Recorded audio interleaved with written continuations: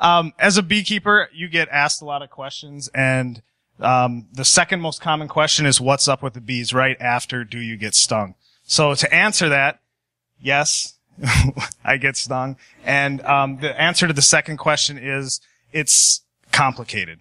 Um, there's a lot going on with bees. Um, this is a honeybee. She, um, is about a half to three quarter inches long and she lives in a colony with about 50,000 other bees. And of those bees, 85% are female and they're the worker bees and 15% are the male drones. And there's one queen and she lays all the eggs for the hive. Now, honeybees are really efficient at pollination, which is why they're important to us. And pollination takes place by the flower attracting the bee to um, with the nectar, and the pollen kind of jumps through an electrical charge to the bee, and then as the bee travels from bloom to bloom to bloom, um, that pollen rubs off on the pistil of the plant and fertilizes it. So that's kind of pollination in a nutshell. One of the things affecting bees are this. This is the Varroa destructor mite, and um, they're like a giant wood tick to bees. They didn't used to come this far north, but with migratory beekeeping practices, they're starting to spread. Um, so a healthy colony can live and thrive with a few mites in it. Um, but as the mite population builds up, you'll notice deformities in the wings, and it makes the bee more susceptible to viruses, to diseases, um, and it just kind of stresses them out. Um, the next thing that affects bees um, are pesticides, and um, recent research is indicating that every time a honeybee returns to the hive, she brings back at least six detectable pesticides in her pollen load. Um, and one of the main uh, classes of pesticides are neonicotinoids. And neonicotinoids are a systemic pesticide that are applied to the seed coating or to a drench of the flower, and it protects the whole plant. But when a bee takes that nectar and um, it's taking a non-lethal dose, but that that builds up over time in the bee and also um, in the hive or in the colony. Um, prior to World War II, there were 4.5 million beehives in the United States. Today, there are fewer than 2 million. One of the things that has really affected um, those numbers is the, la- the, loss of the family farm. Um, they're losing their habitat. Um, we no longer do cover cropping. We no, no longer rotate our plants. This is what we have. We have hundreds of thousands of acres of um, monocrops, and we use um, we use um, chemical pest or chemicals to replace the nutrients that we're taking from the soil, and this is all leading to a flowerless landscape. And this flowerless landscape um, is affecting the bees because they're flower feeders. They need the the protein that they get from the pollen and the carbohydrates that they get from the nectar and they need a wide variety of blooms, just like we need a wide variety of food.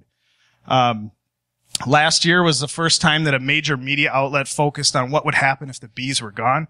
Obviously, we have no honey, but we also lose about $14 billion in economic impact. Um, and then in addition, and what affects us most, um, what affects us as individuals is that we would lose one in three bites of food.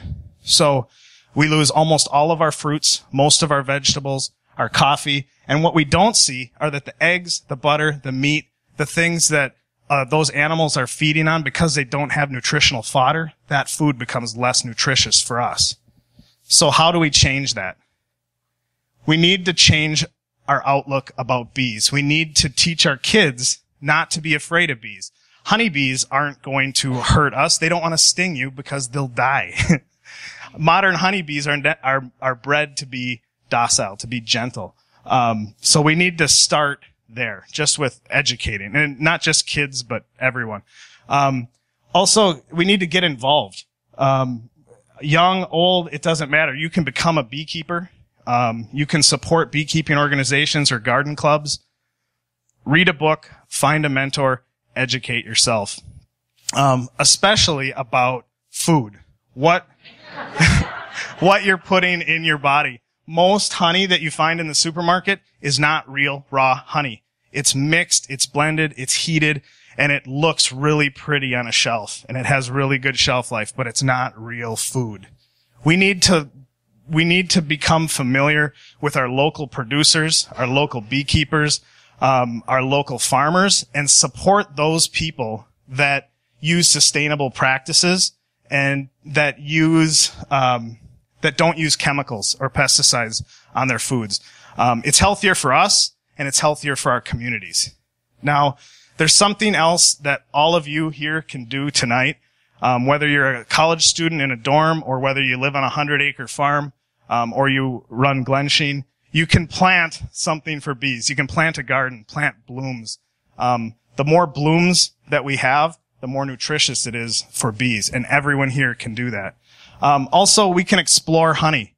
Honey has a terroir, a taste of place. And honey from one location tastes different, looks different, smells different from the next location.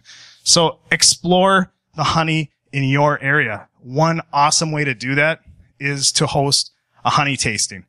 And a honey tasting is just that. You get a bunch of honey together with great local food, great local beers, and you get friends together and you taste and you see how those, how the foods and how the honeys play off each other and change um, as you eat and you can share your knowledge about beekeeping um, and what you've learned about bees. And then hopefully, um, by increasing awareness, um, we can start to turn the tide on what is affecting um, these bees and um, make this world better than we found it.